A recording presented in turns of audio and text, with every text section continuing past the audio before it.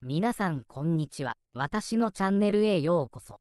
全国高校ラグビー京都府予選決勝京都工学院10、8京都青少、2024年11月10日竹菱スタジアム京都。京都工学院が京都成賞に10対8で競り勝ち、9年ぶり21回目の花園出場を決めた。新校名では初の出場。京都成賞の連続優勝は8で途絶えた。前半10分に PG で先制。だが、後半3分に PG で同点とされる。互いに堅い守りで我慢を続ける中、後半17分に京都工学院が左にボールを展開。ここからトライを奪い、コンバージョンキックも成功させて10の3とする。後半24分にはモールから京都成賞にトライを許し、10の8。ただ、コンバージョンキックは外れた。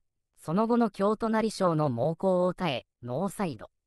昨年の決勝は7の10で敗れるなど何度も跳ね返されてきた京都成賞との激闘を制した。